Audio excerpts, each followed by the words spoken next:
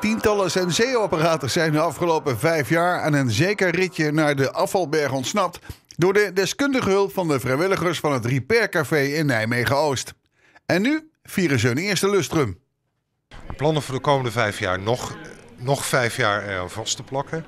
We hopen natuurlijk dat er ook in andere wijken repaircafés zullen komen. Er zijn er in de stad zelf in verschillende wijken nu zes. En buiten de stad nog een keer zes. Eh, als ik Kleef meetelt, uh, in totaal 13. Uh, maar er kunnen er nog wel een paar bij. Er zijn nog een aantal wijken zoals Hatert, waar nog geen repaircafé is. Het Repaircafé is een vrijwilligersorganisatie. We komen tien keer per jaar bij elkaar. Er zijn ongeveer 30 vrijwilligers. Mensen komen met hun spulletjes, kapotte spulletjes. Die kunnen ze samen met ons repareren. We hebben een ontzettend leuk team. Heel gezellig is het.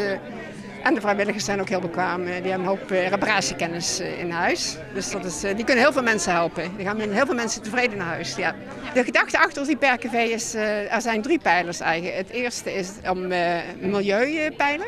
De tweede pijler is educatie.